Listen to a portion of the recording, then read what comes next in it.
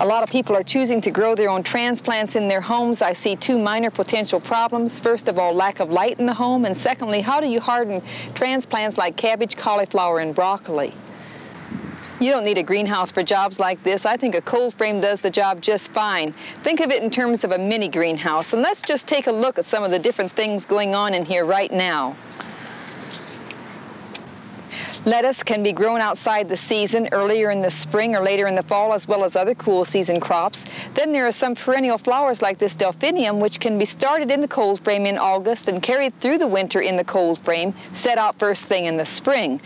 Some perennials, when they're seeded only in the spring, just don't get the size they need when it's time to be placed outside.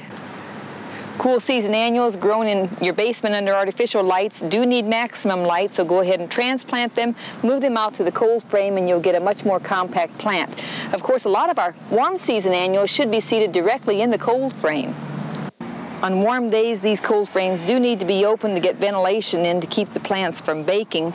There's one other use, of course, of the cold frame, and that is to root some cuttings that you may have in your home. This tray of cacti and succulents has been out here for a while and you can see some real good root systems starting to form on many of these plants. Of course, woody cuttings do exceptionally well in a cold frame situation as far as developing roots. These things are very easy to construct. Basically a wooden frame cover both the inside and the outside with clear poly. I'm Mary Witt, Extension Horticulture Specialist, UK College of Agriculture.